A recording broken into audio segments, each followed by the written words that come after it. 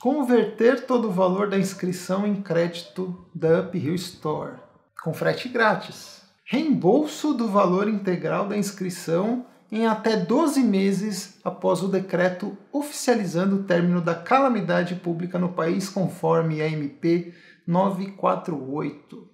Ter a sua inscrição automaticamente transferida para a nova data, que acontece em dezembro de 2020. Uphill. Olha que eu me segurei muito antes de fazer esse vídeo, hein?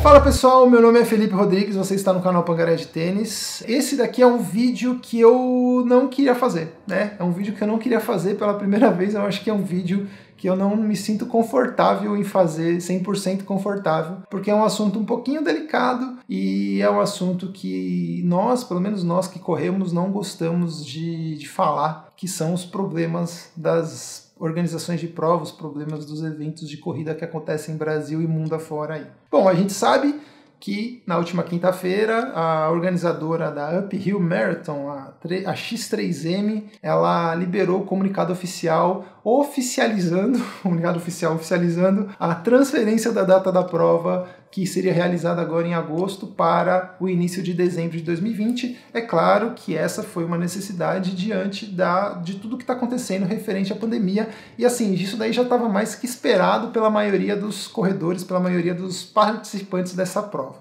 E eu queria deixar três recados antes de eu dar minha opinião referente a forma como isso foi feito e também uma, algumas opiniões referentes à organização dessa prova, organização tanto dessa prova agora do ano de 2020 quanto a de 2019. Primeiro, que o conteúdo que a gente gera aqui no canal é um conteúdo para corredor, de corredor para corredor. Porque até antes da gente produzir conteúdo na internet, a gente é corredor e sendo corredor a gente quer o nosso bem-estar. O segundo, que eu meio que não me senti na obrigação, mas eu acho que é importante que eu dê a minha observação, a minha opinião referente a isso. Por quê? Primeiro, porque eu participei da prova dessa prova no ano de 2019. Segundo, que eu fiz um vídeo, e não fiz só um vídeo, eu fiz vários vídeos referentes a dicas de participar dessa prova, o que, que a pessoa tem que pensar e também ao próprio conteúdo da prova em si. Para quem não viu, vou até deixar o card no vídeo aí em cima para vocês, para vocês verem o que, que foi essa prova aqui para mim o ano passado, no ano de 2019. E terceiro, porque esse ano a Panguinha, a Camila, ela estava escrita, na verdade está escrita ainda na prova do evento desse ano,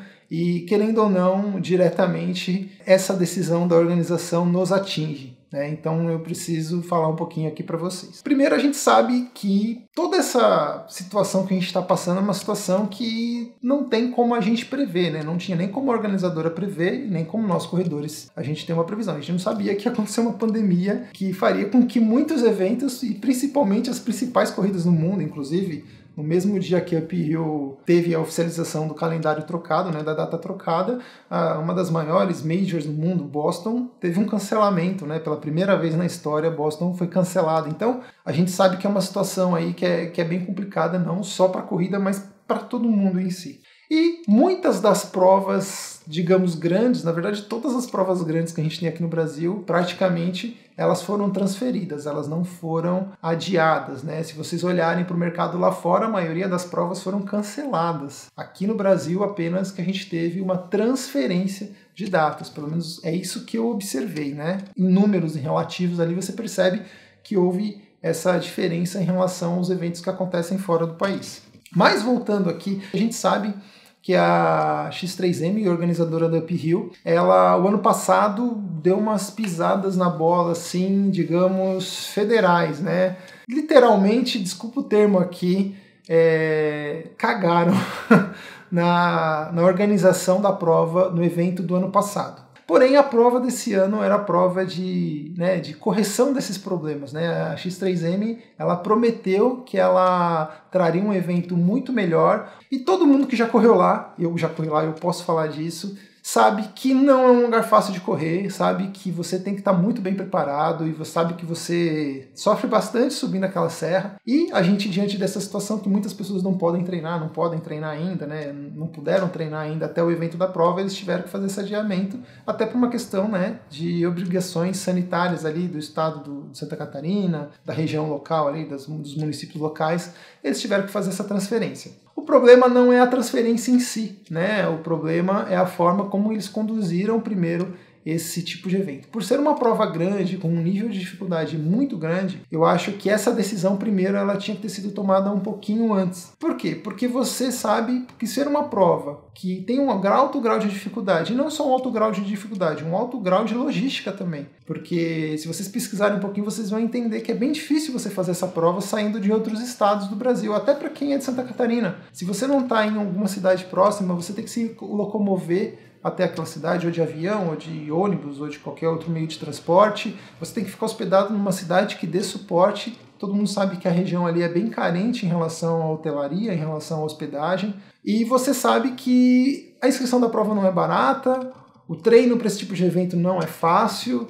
A logística, você tem que alugar um carro, às vezes é bem complicado em relação a essa prova. Eles deram algumas opções aí para os corredores que não querem fazer a prova desse ano, né? Eu particularmente é, discordo de uma delas, que é referente à questão do cancelamento e do reembolso. O, eles receberam esse valor, eu, Felipe, paguei a inscrição lá da Panguinha e já caiu na conta da 3XM, da X3M. E se você não sabe, né, a inscrição da Uphill é meio que quase uma pressão, né, porque você é sorteado eles te dão um prazo limite para você fazer a inscrição, porque senão você perde a sua vaga e eles vão chamar as próximas pessoas da lista que não foram sorteadas e vão chamando conforme a lista de espera. Então, eles geram uma pressão ali psicológica em cima de você para você ir logo lá e fazer logo essa bendita inscrição. Bom, agora a opção de cancelamento que eles dão é você poder gastar esse valor na lojinha virtual deles e eles não cobram frete. Olha que maravilha, eles não vão te cobrar o frete. que absurdo, gente. Desculpa, que eu não, não consigo.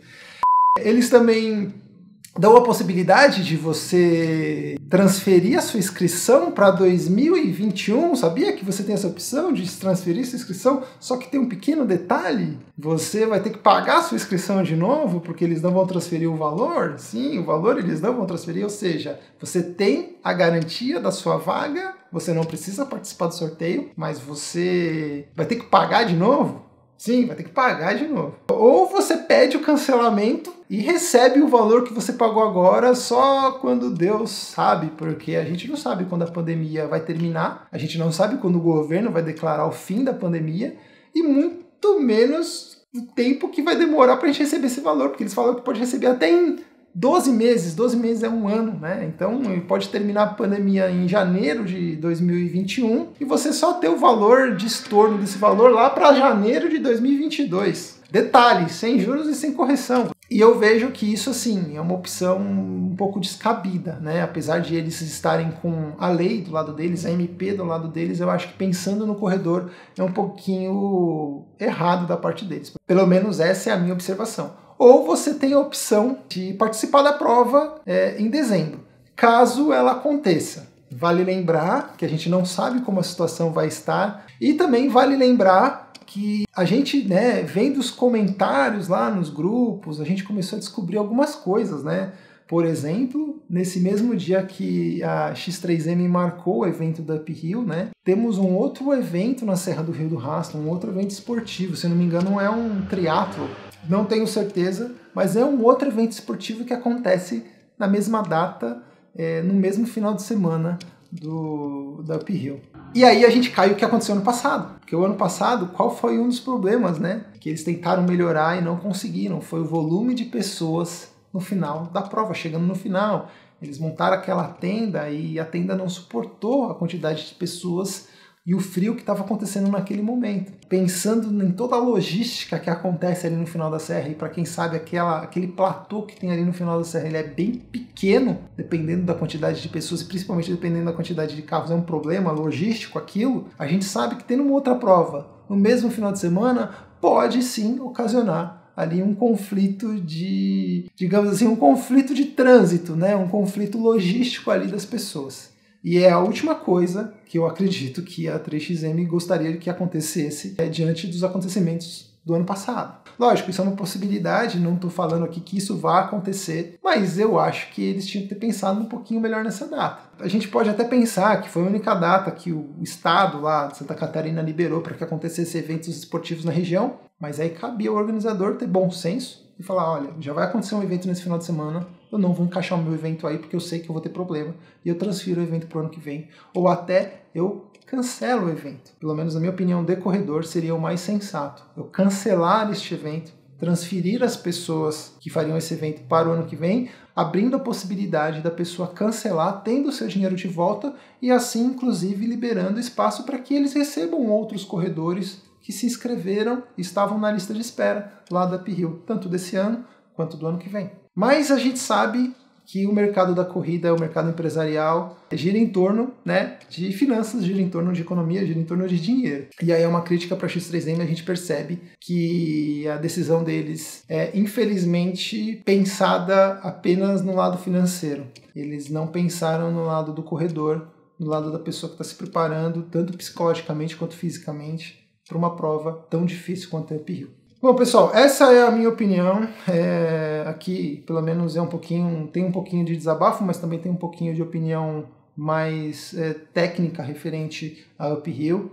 Se vocês querem deixar algum comentário, se vocês querem falar mais alguma coisa, os comentários, a região de comentários está aberta aí embaixo para vocês. Não vou pedir um joinha caso vocês tenham gostado do vídeo, porque esse é o tipo de vídeo que não é legal fazer não, tá? Porque a gente acaba é, dando opinião, dando a nossa cara a tapa, criticando um grande organizador, mas que infelizmente está pisando na bola com os corredores aí. Beleza, gente, é isso. Bora tentar colocar a cabeça no lugar, treinar o que der para treinar e rezar logo para que tudo isso passe e a gente volte à nossa vida normal. Valeu!